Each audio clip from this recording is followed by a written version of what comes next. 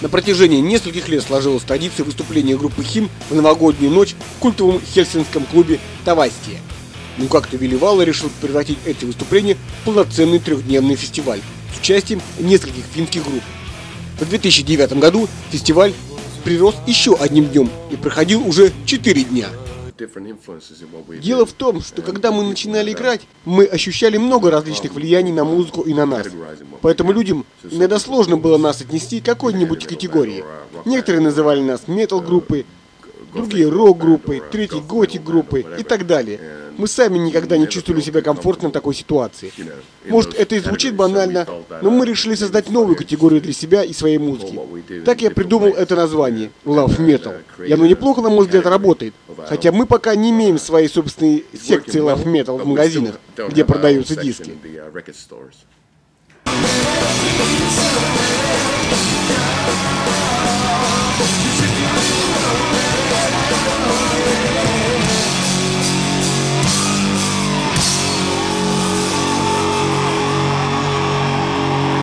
Мы только как-то раз репетировали какие-то новые вещи. Альбом будет ближе к Love Metal, более тяжелый, чем Dark Light. Такая наша идея, сделать альбом ближе к звучанию, например, Queen или Metallica. Нечто в этом духе.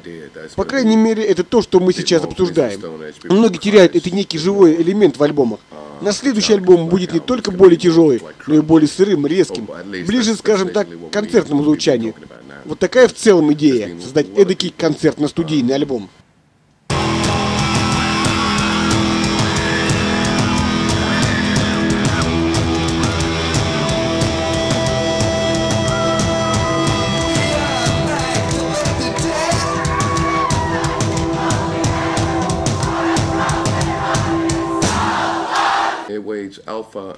Моя лирика и мое отношение к любви и смерти, ну, это скорее как альфа и омега. Начало и конец. Когда что-нибудь начинается, что-нибудь хорошее, ты должен понимать, что этому рано или поздно наступит конец. И надо благодарно воспринимать то, что тебе дается.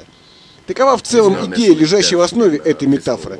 То есть я имею в виду смерть не в физическом смысле, а смерть эмоций, смерть ситуации. Да, конечно, со временем я многое понял и много пережил и в любви, и в других человеческих взаимоотношениях.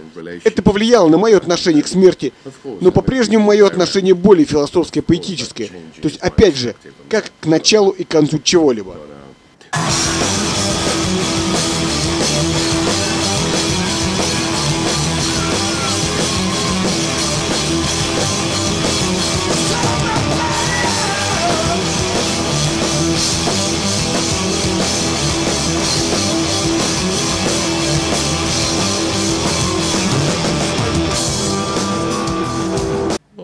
Здесь, в Финляндии, мы все действительно друг друга знаем и близки друг к другу. Мы ни с кем ни за что не воюем, не мешаем друг другу. И все делают свое дело. Например, Расмус играет более поп-рок, Найтвиш играет свой оперный металл, Стратоварис играет свое, мы свое. Каждый играет свою музыку. И у нас нет конкуренции. Мы рады успехам друг другу. И все хорошо друг к другу относятся что очень хорошо для музыкантов и положительно влияет на музыку.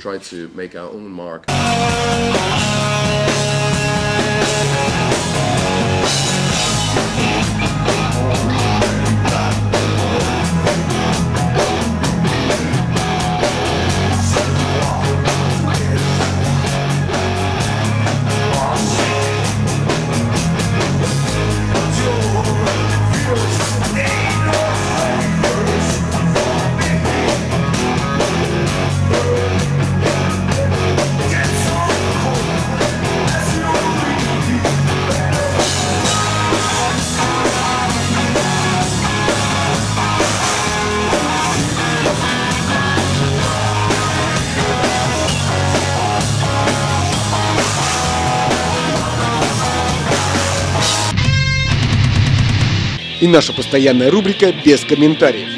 Валерий Гаина.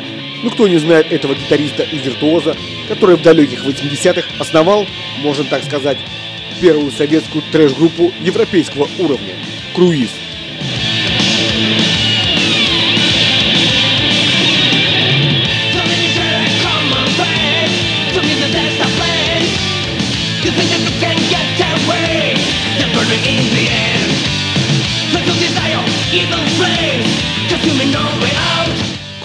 Образца 90-х наделал много шума в Европе, но из-за советского бюрократизма группа не смогла реализовать все свои планы.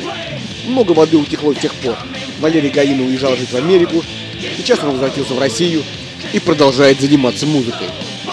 И вот спустя почти 15 лет мы снова слышим в Москве как старые песни Круиз, так и новые песни Гаин. Эх, молодость, куда ушла?